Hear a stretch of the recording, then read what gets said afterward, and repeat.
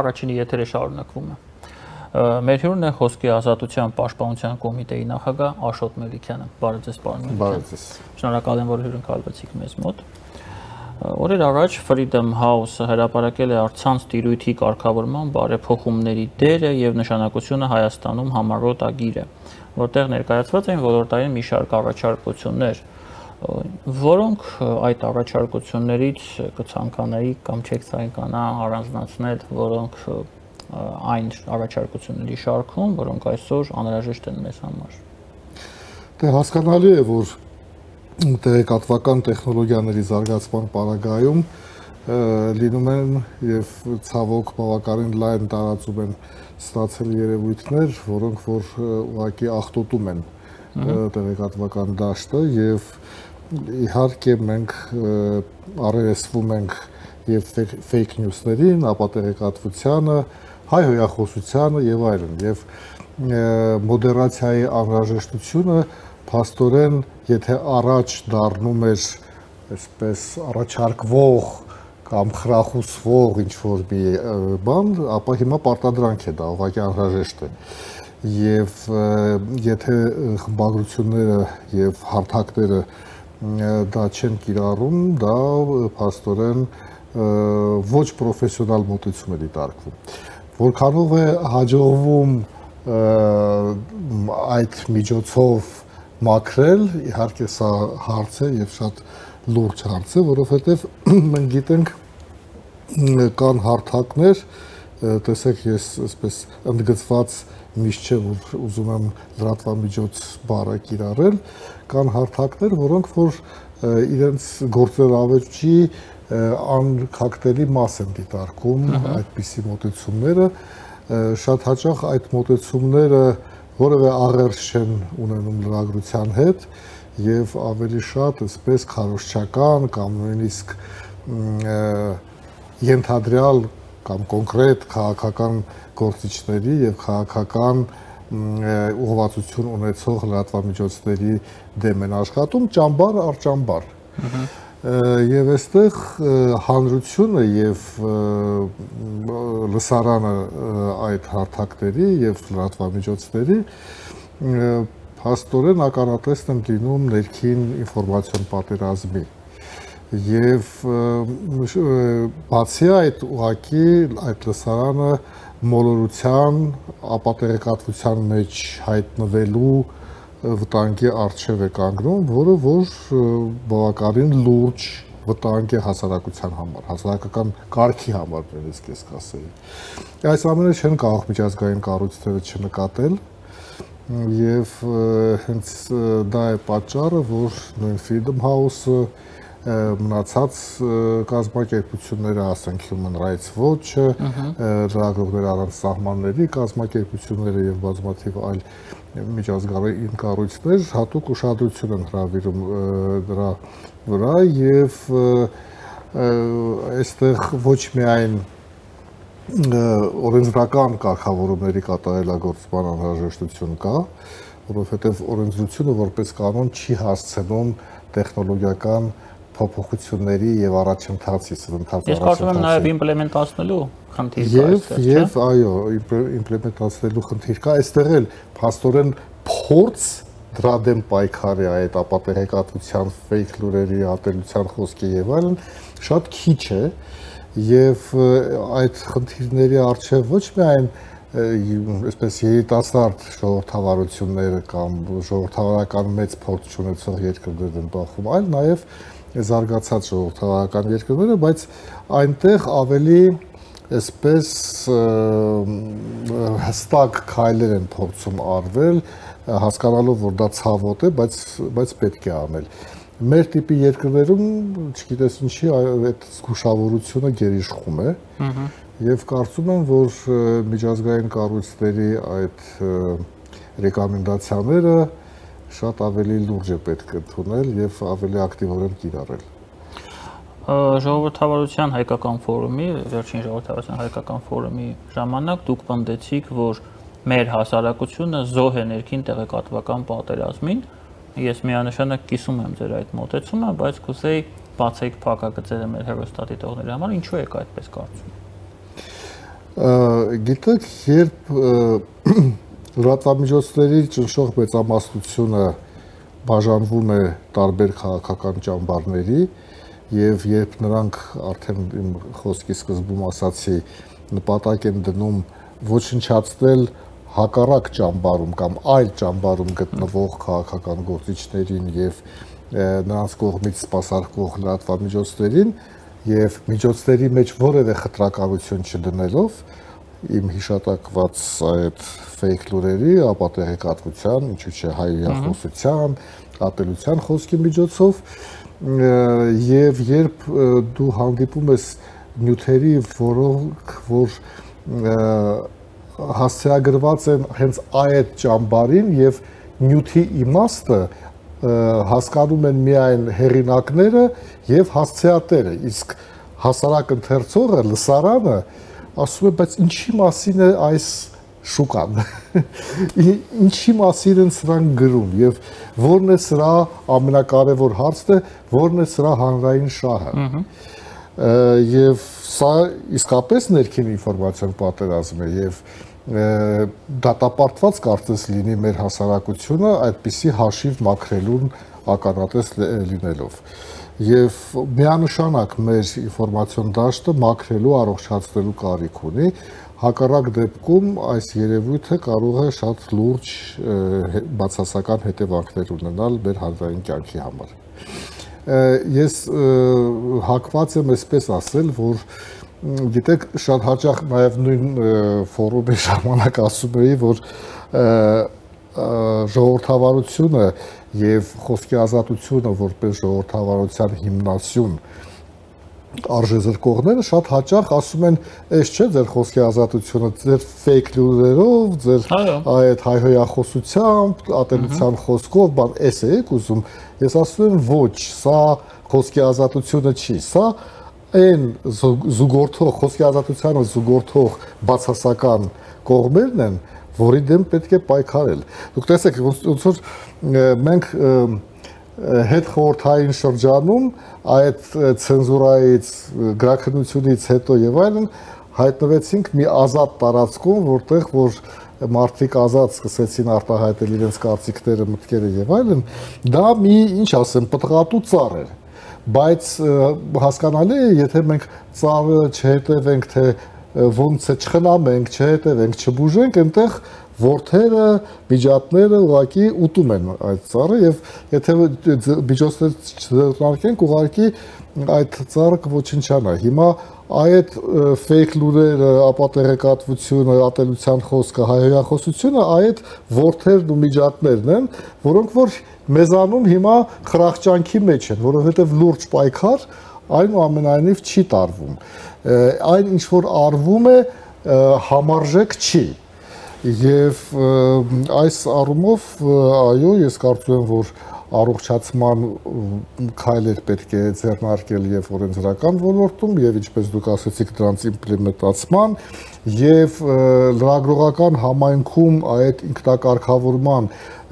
պարտադրանքը ինչ որ միտեղ իմ հետ շատերը համաձայն չեն իհարկե բայց ես համարում եմ որ լրագրողը որը որ չի հետևում մասնագիտական էթիկայի նորմերին նա չի զբաղվում լրագրությամբ, նա զբաղվում է կամ քարոշչությամբ, կամ ապատեղեկատվությամբ, կամ չգիտեմ, ինքնաարտահայտման կամ մարմնավաճառությամբ։ Լավագույն դեպքում։ Եվ եւ չի կարելի այդպես կանգնել ու ասել, վայ, գիտեք, ախար կնեղանան եւ այլն, այստեղ նեղանալու հարցը չի լրագրողը, լրատվամիջոցը ինքը պետք է ընտրություն կատարի, ինքը մասնագիտական դաշտում է, թե հակամասնագիտական դաշտում։ Տեսեք, պարոն Մելիքյան, այսպեսի մի հարց է առաջանում։ Կարծում եմ սա տրամաբանական հարց է։ Այդ դիզերը, միջատները ծառի վրա երբ էին ավելի շատ։ Միջև 18 թվականը, այսպես ասեմ, 2008-ից 18-ը, թե 18-ից միջև այսօր։ Ես կարծում եմ, որ այդ միջատները իրենց այդ բուները եւ այլն սարքել են իհարկե շատ ավելի շուտ։ Ես կասեի նույնիսկ 90-ականներից կարելի է խոսել դրա մասին, որովհետեւ այդ քաղաքական նկատառումներով դաշտի բաժանումը կար այն ժամանակ նույնպես բայց եթե մենք խոսենք հետ հեղափոխական շրջանի մասին, ուղղակի ես կարող եմ ասել, որ իմ կարծիքով այս ընթացքում այդ ամենը սենց բացվեց, ծաղկեց, որովհետև շատ բարենպաստ պայմաններ այդ միջատների համար ստեղծվեցին այն առումով, որ պարակտվածությունը քաղաքական դաշտից միանգամից տեղափոխվեց հասարակական սեկտոր, միանգամից դա տեղափոխվեց նաև զուգահեռաբար զանգվածային լրատվամիջոցների դաշտ, էֆեկտիվ մեթոդներ օրենսդրական չկային դրանց դեմ, մարտահրավերը շատ ավելի լուրջ էր, քան հակաթույները, եւ բացի այդ իհարկե վրա հասան շատ ավելի ակտիվ գործընթացները տեղեկատվական տեխնոլոգիաների զարգացման առումով։ Այսինքն կային օբյեկտիվ, սուբյեկտիվ պատճառներ, այն ինչ որ հաճախ լսվում է տարբեր հարթակների խմբագրություններից, առայն որ մամուլը ճնշվում է եւ այլն եւ այլն, ես միշտ ուզում եմ հարց տալ, թե այդ որ թեման է Հայաստանում տաբուի մեջ, այդ որ լրատվամիջոցն է այնպես ճնշված, որ իր իրեն բնորոշ բառապաշարով չի կարող արտահայտվել ցանկացած անձի, ել չեմ ասում քաղաքական գործիչների եւ այլն հասցեին, այնպես որ այստեղ հակառակն է, ես որոշ դեպքերում մտածում եմ, որ ժամանակն է եկել ոչ միայն ազնիվ աշխատող կամ որակյալ լրագրությամբ զբաղվող լրատվամիջոցներին պաշտպանել, այլ հասարակությանը ոչ որակյալ մեղմասած լրատվամիջոցներից պաշտպանել, որովհետև մեղք են այն մարդիկ, ովքեր որ մեդիա գրագետ չեն առայժմ, կամ երբեք միգուցե չեն զբաղվի իրենցով եւ այսպիսի մոլորության մեջ գտնվելով ամեն մի մատից ծծած լուրերի լուրերով սնվում են եւ կարծում են որ տեղեկություն են ստացել Պարոն Մելիքյան, Սերժ Սարգսյանի լեգիսլատուրայի տարիներին, երբ որ ԶԼՄ-ների դաշտը համակարգում էր Միքայել Մինասյանը, Փեսամիշիկը, ինչպես նրան կոչում էին, բավականին գրագետ եւ համակարգված աշխատանք էր տարվում իշխանությունների տեսակետից ելնելով իհարկե իշխանությունների շահերը պաշտպանելու տեսակետից եւ ֆեյքերի մասով եւ կեղծ հասարակական օրակարգ ձևավորելու ուղղությամբ բավականին գրագետ էին աշխատում այսօր մեր երկիրը փաստացի գլխավորում է նախկին լրագրող Նիկոլ Փաշինյանը այս առումով իշխանության տեսակետից ելնելով հա հասկան ճիշտ հասկանանք հա ավելի գրագետ է աշխատում, թե վատ տարածել է իրավիճակը այս առումով։ Իշխանության աշխատանքը ԶԼՄ-ների հետ։ Դուք դուք շատ ճիշտ նշեցիք այն առումով, որ Միքայել Մինասյանը այն համակարգում էր աշխատում եւ այն տեսանկյունից էր Այո ուրեմն գրագետ աշխատում ես գրագետ բառը չէի շռայելի այստեղ կամ կվեսնայի ճակերտների մեջ ոնց որ կարծում եմ դուք վերցրեցիք։ Ես էլ դա նկատի ունեմ։ Այդ աշխատանքը բնորոշ է իհարկե ավտորիտար համակարգին, երբ որ վերևից, վերքև ամբողջ ասենք հերարցակման դաշտը ամբողջովին վերահսկվում էր եւ հնարավոր չէր այդ պայմաններում դրանից առաջ էլ Ռոբերտ Քոչարյանի օրոք այսքան, ասենք, մասնավոր ընկերությունները հերարցակող այսքան ընդդիմադիր լինեին։ Այսինքն ընդդիմադիր հերարցակողների քանակը երբ մենք համատում ենք այն ինֆորմացիոն իրավիճակի հետ, սարու ձորի տարբերություն կար եւ որևէ ռեժիմ այսպիսի բան չէր հանդուրժի։ Հիմա այս իշխանության դրական կողմերից մեկն այն է, որ ինքը չի փակում, ինչպես ասենք Ռոբերտ Քոչարյանը փակեց Ամեկ պլյուսը, սա այս իշխանությունը չի փակում կարող ենք թվել այդ թվարկել այդ հերոստանգերությունները եւ լավ է որ չի փակում այո պետք է ընդդիմադիր խոսքը լսվի թեկուզ եւ կոշտ բայց ամեն դեպքում էթիկայի սահմաններում գործող պետք է լրատվամիջոցները լինեն։ Ես հենց դրա համար համեմատություն է տանում էի Սերժ Սարգսյանի եւ Նիկոլ Փաշինյանի կառավարման տարիներին։ Բայց մյուս կողմից իհարկե Նիկոլ Փաշինյանը որպես անցյալում լրագրող շատ ավելի կարևոր պետք է կարևորեր լրատվամիջոցների հետ աշխատանքը եւ չիջներ այն մակարդակին, որ սրանք ջադու են, չգիտեմ, սրանք առհասարակ բանի տեղ տնելու արժանի չեն եւ այլն շատ ավելի գրագետ եւ կշռադատված քայլերով կարելի էր աշխատել գոնե այն առումով որ պաշտոնական տեղեկատվությունը օրենքին համաձայն պետք է հասու լինի լրատվամիջոցներին դա միշտ չի ես ես ինքս էլ կարող եմ պնդել որ պետական ատյաններից շատ բարդ է ստանալ պաշտոնական հավաստի տեղեկություններ այդ խնդիրը բարդացել է որ պաշտոնյաների մասին տեղեկությունները բավականին սահմանափակվել են որ Նիկոլ Փաշինյանի օրոք նույնպես երկրի առաջին 3 դեմքերի ներկայացական ծախսերը օրենսդրորեն մնում են գախտնի, սա ես ամեն հանդիպման կամ առիթ կամ այլ առիթներով ասում եմ։ Այո, Եվ երբ նրանք ասում են, որ չէ, ախր մենք որոշ տեղեկություններ հրապարակում ենք, իմ մոտ հարց է առաջանում, ուրեմն դուք օրենք եք խախտում, օրենքով դա գաղտնիք է, ինչի եք հրապարակում։ Բայց մենք այլ կերպ ենք, մեր առաջարկը այլ է։ Մենք ասում ենք դուք օրենքը փոխեք, ցույց տվեք, որ այն իշխանություններից ավելի բաց եք, թափանցիկ եք աշխատում եւ եւ հրապարակեք այդ տվյալները գոնե post factum։ Սա չի արվել։ Այսինքն կարելի է բազմաթիվ բացասական բաներ վերհիշել եւ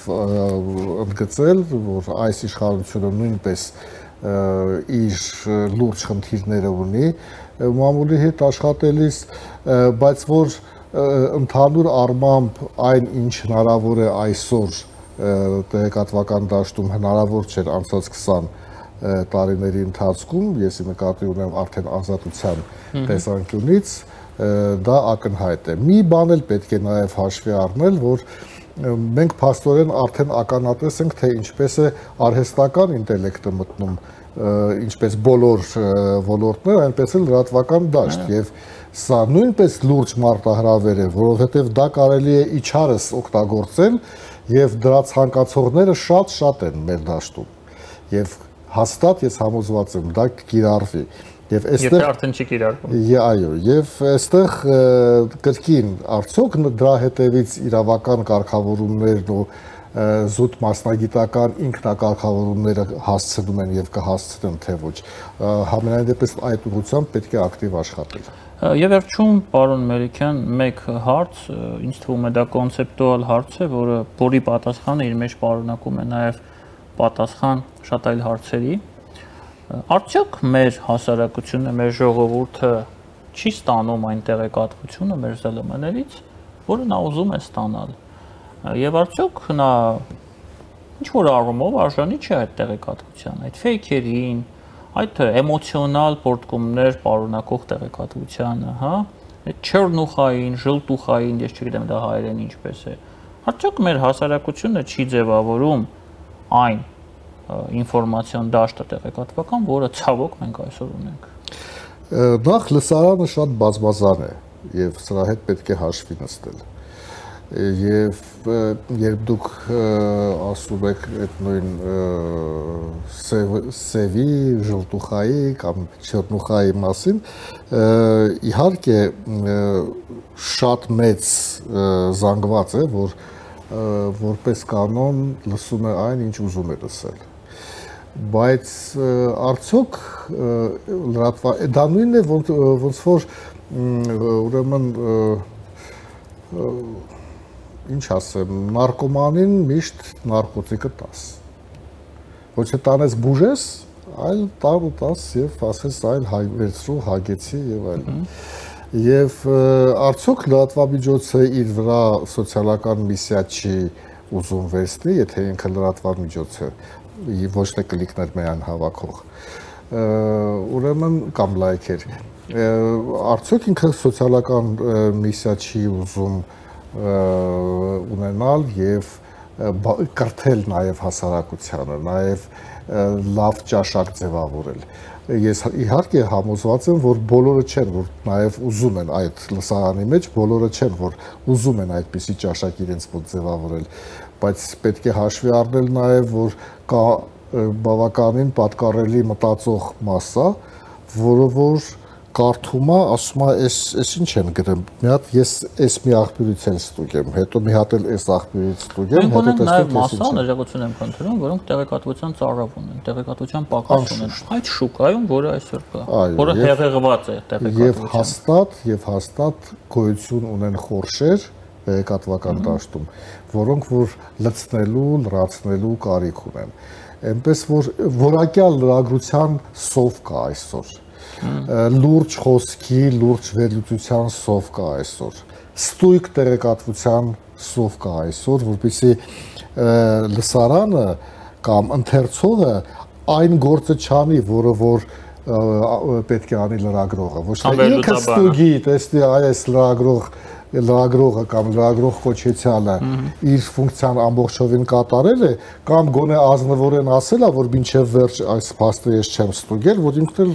համոզված լինի որ միանգամից ամբողջությամբ չարժի հավատալ սրան այ այս աշխատանքի կարիքը կա եւ կարծում եմ դրա խորշերն էլ կան եւ առհասարակ պետք է հետեւել